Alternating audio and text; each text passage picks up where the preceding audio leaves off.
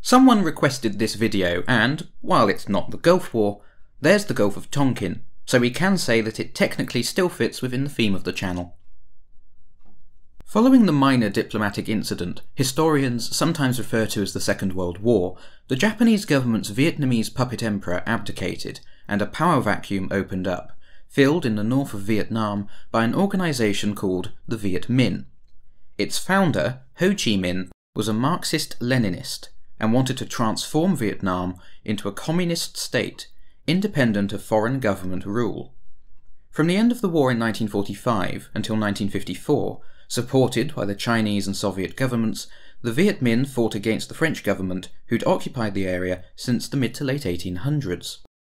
The Chinese government, under the dictatorship led by Mao Zedong, had been the main supporters of Vietnamese independence, but that was going to change. The end of the war against the French government in 1954 ended with Vietnam being split into two nations one a Marxist Leninist communist dictatorship, one a fascistic capitalist dictatorship. The Chinese government wanted to exert its influence over the new North Vietnamese government and the mainland Southeast Asian region more generally, and used the peace conference in Geneva, Switzerland, to begin this.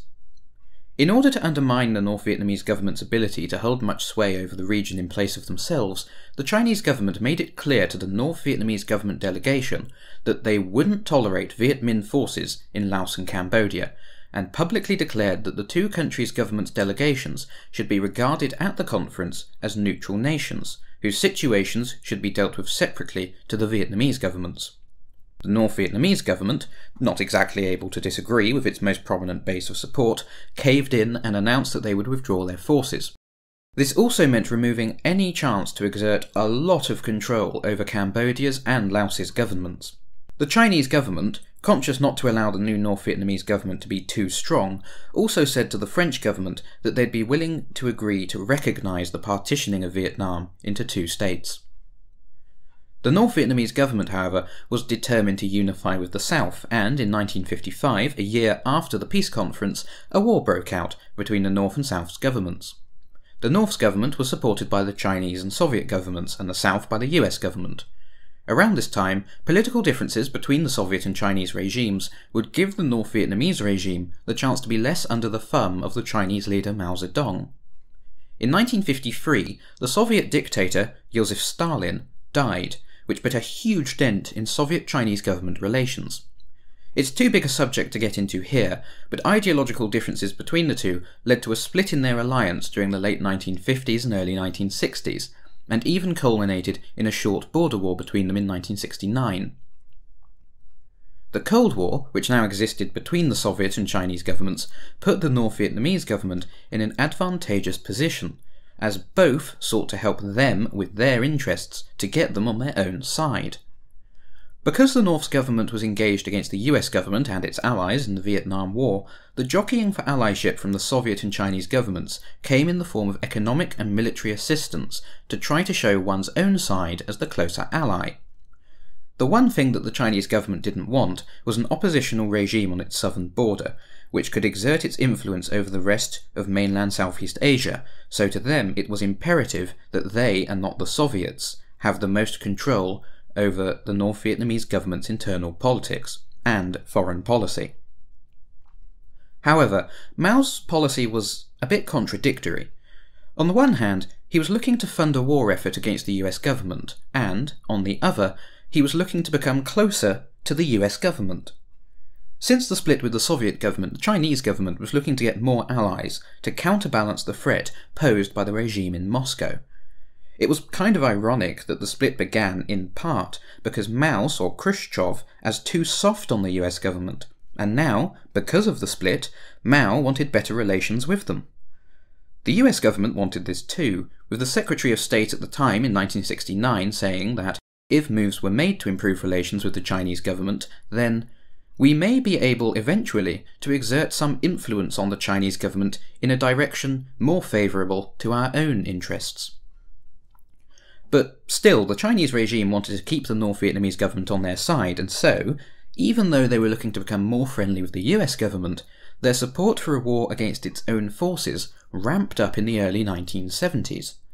It's been argued that this was to placate the North Vietnamese government about the apparent contradictions in claiming to oppose US government imperialism and yet becoming more friendly with them, so as to stop a Soviet government aligned regime from being on their southern border. From 1971 to 1973, the Chinese government provided the North Vietnamese government with 9 billion yuan in support. However, there were three major problems for the Chinese government. The first was that the policy of providing aid to the North Vietnamese government was economically unsustainable. The second was that the North Vietnamese government was extremely angry about the Chinese government getting closer to the US government at a time when they were literally at war with them. And the third was Cambodia's government. Okay, the first thing. Mao had tried to massively and swiftly increase the industrialization and agricultural production of China, as well as further develop the nation into a Marxist Leninist society from the 1950s to the 1960s in a policy known as the Great Leap Forward. For numerous reasons, such as the failure of government planning and, frankly, delusional quotas for grain which couldn't be produced and went to urban areas far more than to rural areas, the policy led to the worst recorded famine in human history and the deaths of up to 30 million people. In order to strengthen his own rule after this disaster, Mao ordered what is known as the Cultural Revolution, a drive to purge his political enemies and instill a cult of personality, with the justification of protecting Maoist communism from capitalists and traditionalists. This resulted in the deaths of perhaps tens of millions of people. Mao's policies severely weakened the Chinese economy, but he was still determined to fund the North Vietnamese government in order to keep them from allying closer with the Soviet government. In the early 1970s, Mao and the Chinese premier, Zhou Enlai, were under pressure to begin cutting foreign aid in order to try to save more money, but for Mao, it was too important a policy to give up on until good relations with the US government were secured. But the North Vietnamese government wasn't blind to what was happening, and weren't going to be idle about it. They desperately needed aid to fight their war and support their own economy. The Chinese government was struggling to give as much support as the North Vietnamese government wanted, or had been promised, and the latter would try to use closer relations with the Soviet government as a method to get as much of that support from Mao as they could. If the Chinese government couldn't give them the support they needed, then they would ask the Chinese government to allow the Soviet government to support them instead, with the aid transiting through China. This is around where the second major problem for the Chinese regime comes in. The North Vietnamese government reaction to closer ties with the US government. In 1972, the US President, Richard Nixon, visited Beijing and publicly shook hands with the Chinese Premier, Zhou Enlai. To the North Vietnamese government, this was little more than betrayal. They saw the Chinese government's economic and military assistance as a front, with the real policy being to keep Vietnam divided so that it, the Chinese government, could rule as regional hegemon. In a way, they weren't wrong. The Chinese government was looking to safeguard their interests, which included being able to exert power over spheres of influence like mainland Southeast Asia. When relations with the US government were established, the North Vietnamese government was no longer as useful to the Chinese government, and so they drastically began to cut aid between 1972 and 1975, feeling more secure now against the threat posed by the Soviet government. This aid was cut most drastically after an attempted peace treaty to the Vietnam War, during the negotiations for which the Chinese government used the vital aid as a tool to pressure the North Vietnamese government into signing.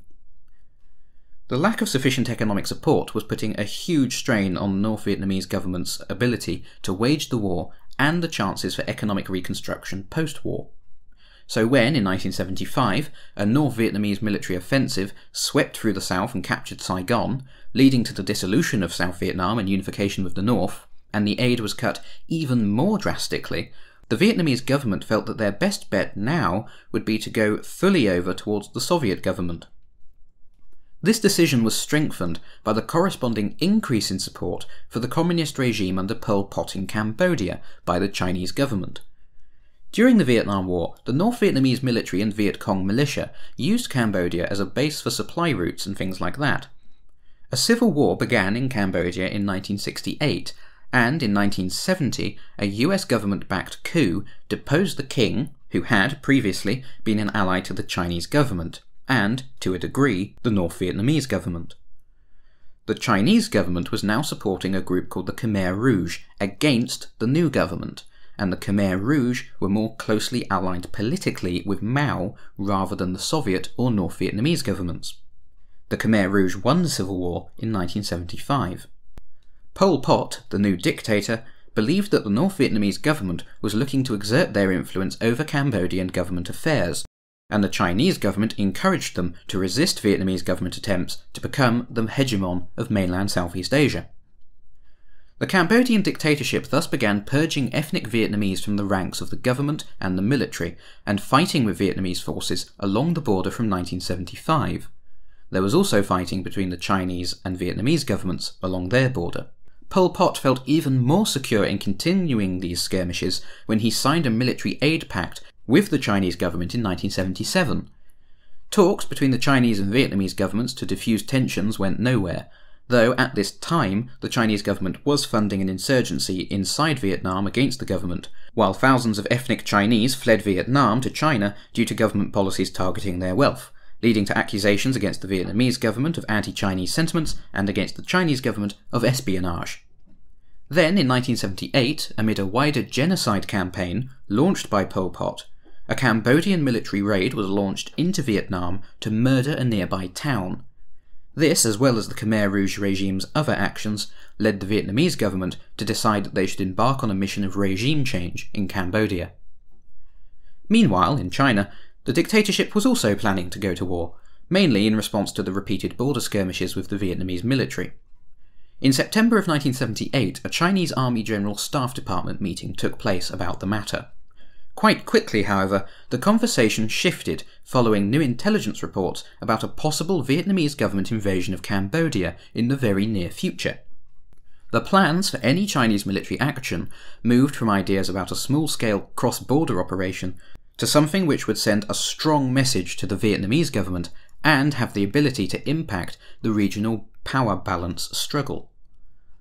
The consequences of a war were not going to be smooth, however, least of all because of the international backlash.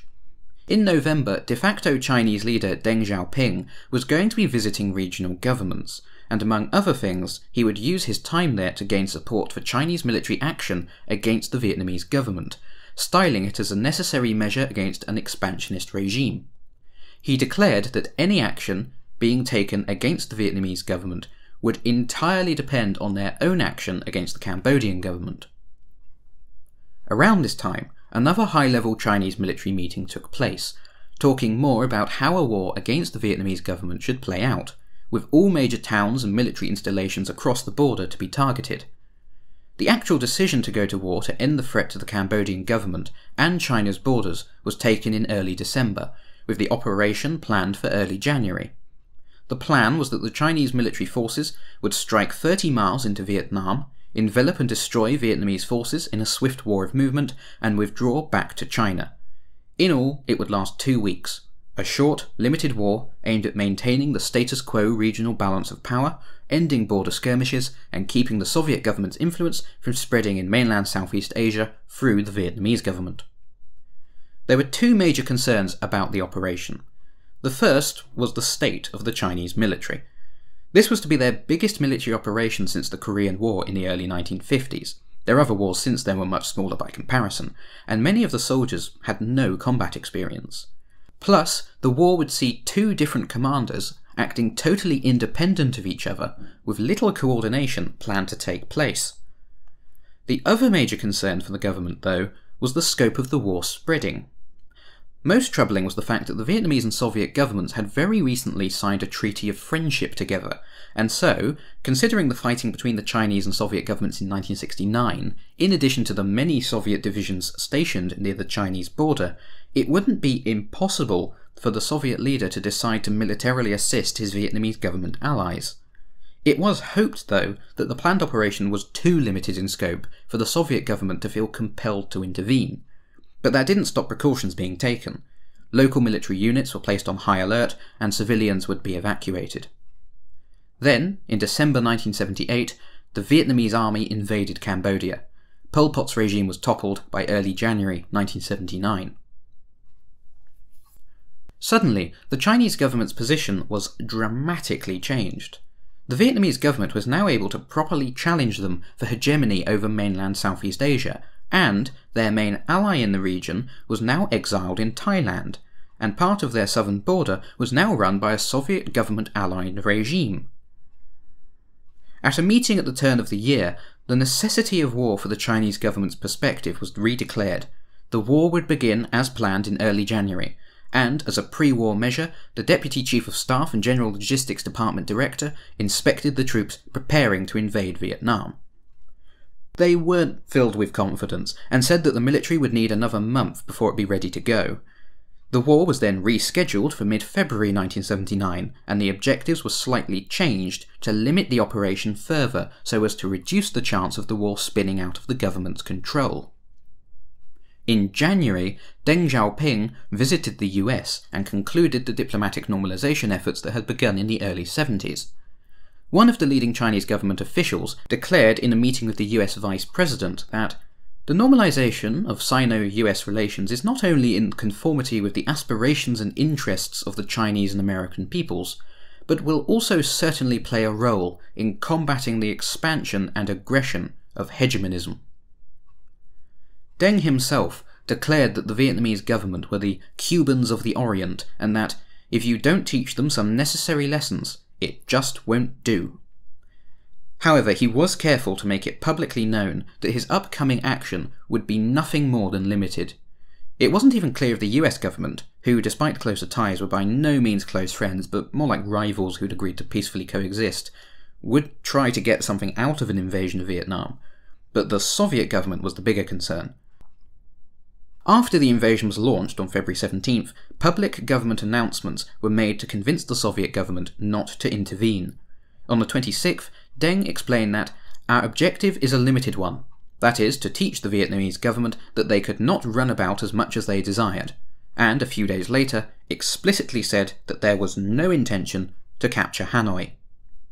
The conflict was not even labelled as a war, but as a self defensive counter-attack, the number of troops involved in the initial invasion differs depending on the sources I've found, anything from 75,000 to the more often cited over 300,000 in total, both invading and in reserve, as well as over 200,000 civilian volunteers and militia in Guangxi province alone. Facing them were 120 to 160,000 Vietnamese soldiers and militia. The Chinese military had intended to invade with a numerical superiority of 8 to 1, but because of the large amount of Vietnamese militia, it was more like 2 to 1 in reality. The Chinese military's plan was quite simple encircle and destroy Vietnamese divisions at Cao Bang and Lao Cai, and another attack to capture Dong Dang to keep the Vietnamese government guessing as to the main focus of the offensive. The town of Lang Son would then be captured, while another enemy division would be destroyed in Sapa. The Chinese Air Force would not take part, for fear that it would lead to an escalation of the conflict, and their main role was simply to be present and ready at the border to deter any actions by the Vietnamese Air Force. At first, the Vietnamese government was caught by surprise, not having believed that the Chinese government would ever actually attack them. Their directive was simply to put up as much improvised resistance as possible until a more formidable defence could be established, and they requested immediate assistance from the Soviet government. Soviet military advisors suggested that regular troops be airlifted from Cambodia to Vietnam to assist, but the Vietnamese government was slow to make decisions. Their best troops were already deployed in another country, and they didn't know the exact target of the Chinese government's operations. But they did believe that, despite the initial setbacks, this wasn't going to be a disaster. For one thing, they could rely on the Chinese government's attempts to keep the Soviet government out of the war with their public announcements to tell them what Deng Xiaoping was planning. He said it wouldn't be Hanoi, and that it would only be a short operation. The Vietnamese government also felt that the Chinese military, though large in numbers, would be less adept at fighting than their own troops and militia. Moreover, because the Chinese military was announcing that the conflict was to be limited in scope and duration, that meant the Vietnamese government wouldn't have to withdraw its forces from Cambodia and could rely mostly on local militia to hold the offensive back. Considering that forcing a withdrawal from Cambodia was one of the Chinese government's aims, that wasn't exactly a good start. Moreover, the offensive was not going as swiftly as planned. The regional geography and poor logistical chains of the Chinese military slowed the pace, as did a lack of air power. The objectives for the first day weren't met, and it wasn't until day three that Cao Bang was captured. Vietnamese forces then melted into rural and urban areas to carry out hit and run attacks, which delayed Chinese forces even more. By the start of March, Lang Son, one of the main operational objectives, had not yet been captured. The Chinese government pushed for it to be taken, which would open the way to Hanoi. In other words, a message to the Vietnamese government that they should halt their attempts to wrest regional hegemonism from the Chinese government or face the consequences. It was finally captured on March 5th, and the Chinese government almost immediately announced a withdrawal from Vietnam when they heard the news, claiming that they had won the war and achieved their goals. Three provincial capitals had been occupied, and according to Chinese government estimates, they'd inflicted almost 50 to 60,000 casualties on the Vietnamese army and militia. No official number actually exists, however, and it's likely that this number is both inaccurate and inflated. Conversely, the Vietnamese government declared that they'd inflicted 42,000 casualties on the invaders. At first, the Chinese government declared that they'd actually taken less than half as many. In the United States, Pentagon analysts guessed from the Chinese government's claim that they'd lost 5,000 or so dead. The latter also tried to convince the US government that most of their troops were frontier troops rather than army regulars who were defending their homes from the Vietnamese military. That's mostly untrue, however.